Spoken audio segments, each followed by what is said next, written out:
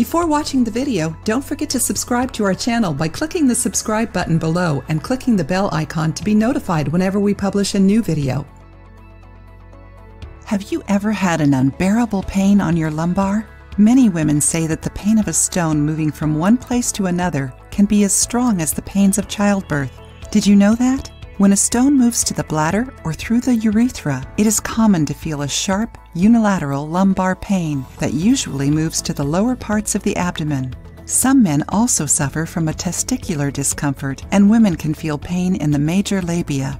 Besides pain, there are other symptoms that can be considered signals when you have kidney stones.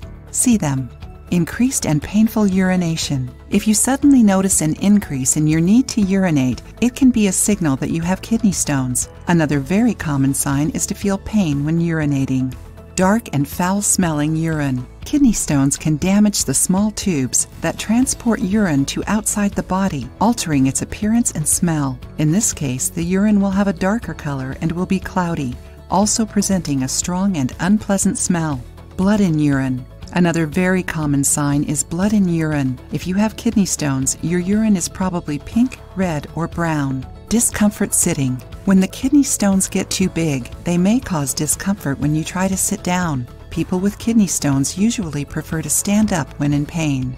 Nausea and vomiting. Many times, kidney stones can cause infections, especially in the urinary tract. These infections are usually followed by fevers and fatigue. Besides that, back pains can also cause stomach ache and cause nausea and vomiting. Fever. When the stones stay for too long inside the kidneys, they can cause fever and shivers.